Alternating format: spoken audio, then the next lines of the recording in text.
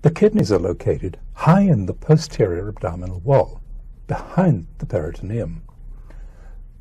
They lie in front of the 11th and 12th ribs.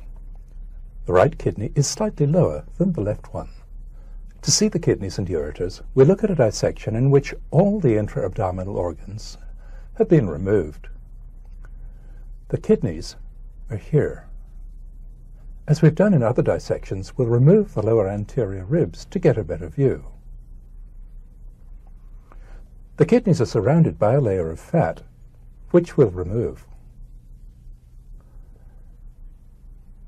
Here are the kidneys. Here's the aorta, emerging between the crura of the diaphragm.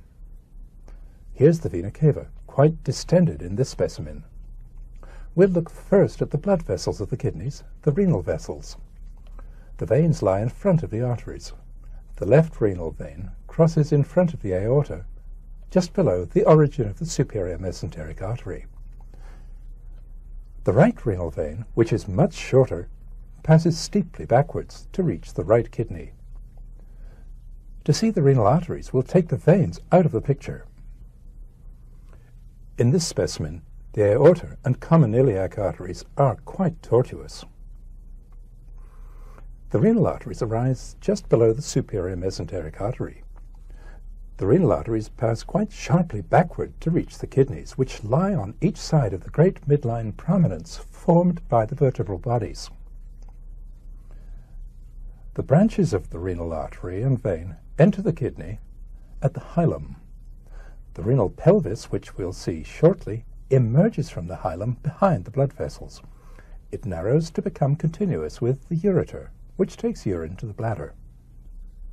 To see the hilum in detail in this isolated kidney, we'll remove the fat from around the hilum. At the hilum, the surface of the kidney is rolled inward, creating a deep oval pocket the renal sinus. To see into the sinus, we'll remove this part of the kidney. In the renal sinus, the artery and vein divide into numerous branches. We'll remove them too, so that we can see the structures that form the collecting system for urine.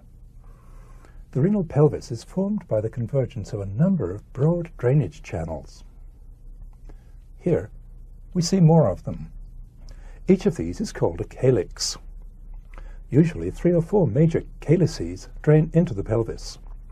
Each major calyx branches into several minor ones that are seen better in this X-ray of an isolated kidney that has its collecting system full of contrast material.